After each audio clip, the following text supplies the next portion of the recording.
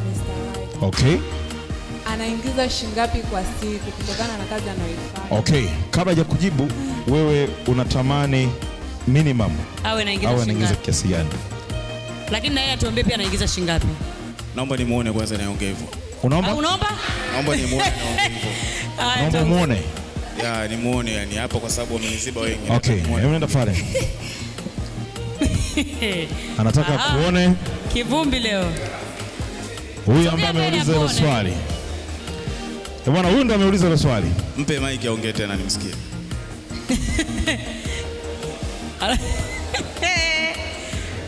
Kivumbi leo. Mimi naomba nisimame sasa maana nilikuwa nime nimekaa. Haya, muulize swali Mr. Right, kasema nataka kuone. Kabla hajaanza kuuliza swali, unapouliza swali na mimi nisubiri nikujibu afu endelee kuuliza lingine. Unaingiza shilingi ngapi kwa siku kutokana na kazi unayoifanya? Wewe unajishughulisha na nini mpaka sasa hivi? Mimi ni mfamasia. Kwa siku wewe unaingiza shilingi ngapi? Ni vigumu kukuambia kwa sababu Kwangu ni rahisi kukwambia.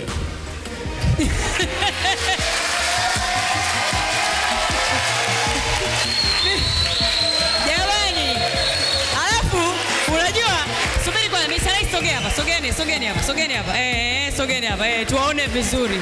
Hapo Mr. Right yuko serious. Hacheki.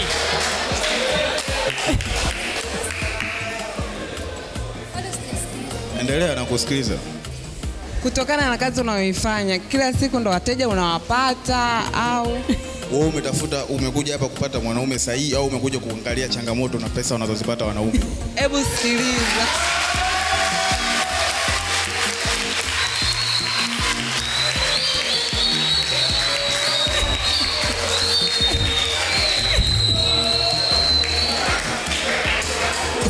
sikiliza Haujanisikia?